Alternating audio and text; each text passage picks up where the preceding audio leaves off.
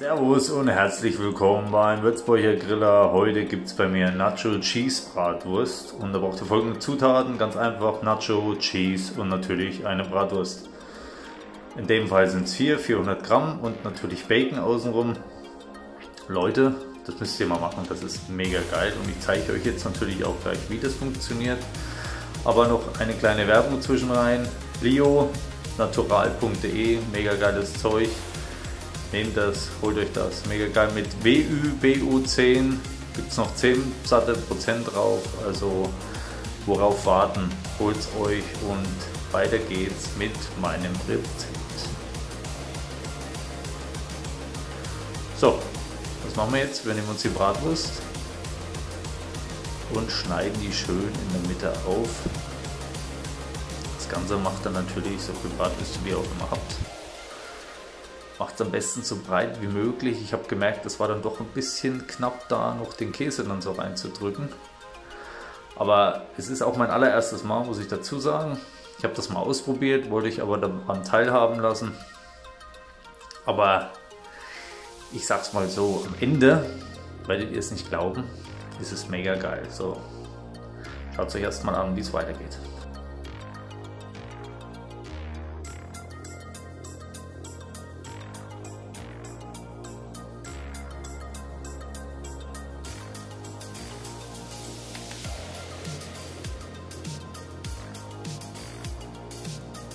So, das war dann der letzte. Und jetzt kommt Cheddar rein. Eins nach dem anderen. Macht, macht so viel rein, wie es nur geht, wirklich. Also, ich habe das ein bisschen zu knapp berechnet, hätte ich nicht gedacht, aber nimmt das Doppelte, wie ich habe. Sicher, sicher.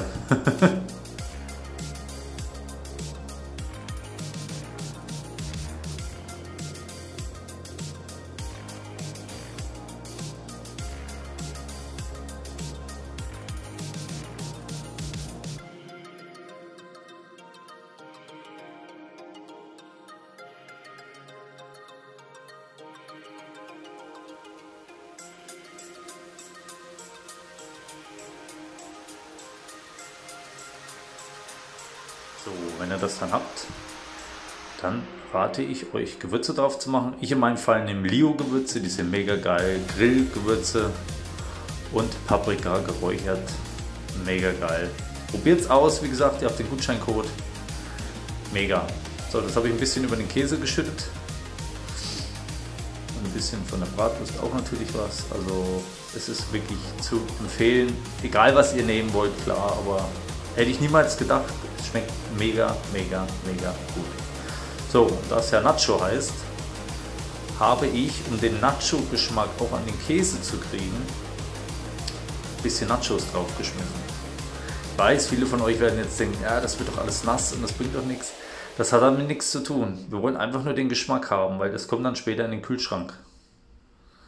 So, dann natürlich der Bacon. Macht da einmal schön ringsrum. Lasst es nicht zu arg überlappen, weil, also ich habe das ja dann im Smoker drin. Das wird dann richtig schön eingeräuchert und wenn du dann so viele Lagen drum hast, dann ist, ist der zweite, dritte Bacon dann drinnen immer noch zu weich und das wollen wir ja nicht haben. Wir wollen die ja richtig schön durchhaben. Ne?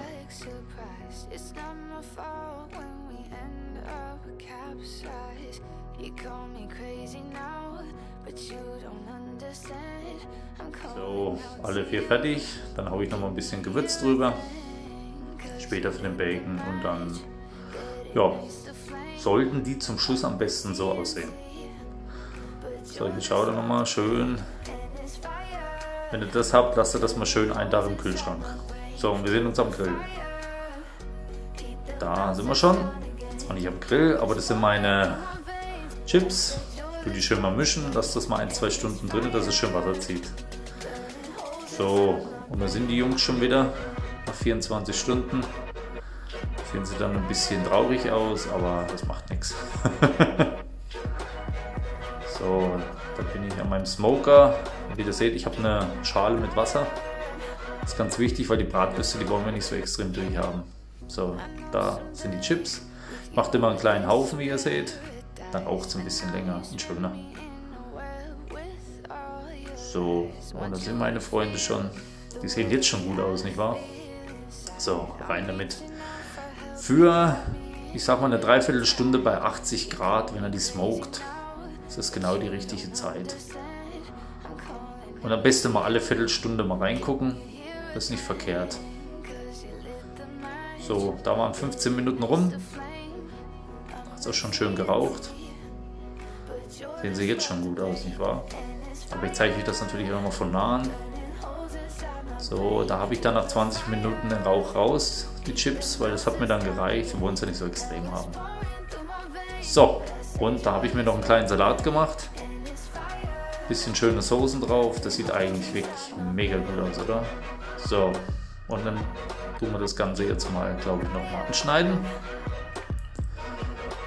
Was ihr seht, das sieht echt gut aus und es schmeckt so gut. Die Nachos dann nochmal frisch oben drauf natürlich. Wie ihr seht, der Käse war dann ein bisschen fest, aber es ist trotz alledem saftig geworden noch innen drin. Vielleicht zwei, drei Minuten früher rausholen. Das müsst ihr immer gucken, auch nach euren Smoker. Also, aber es war wirklich mega gut. Da habe ich Knoblauchsoße genommen, Barbecue-Soße, also wie ihr das wollt. Schmeckt auf jeden Fall herrlich. Ich kann euch das nur empfehlen. Macht's nach, würde mich freuen und Daumen hoch, wenn ihr machen würdet und abonniert mich. Vielen Dank, euer Würzburger Griller.